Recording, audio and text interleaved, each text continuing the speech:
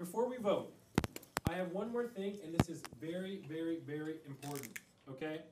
Very important. Does Maya deserve better? Okay? Does Maya deserve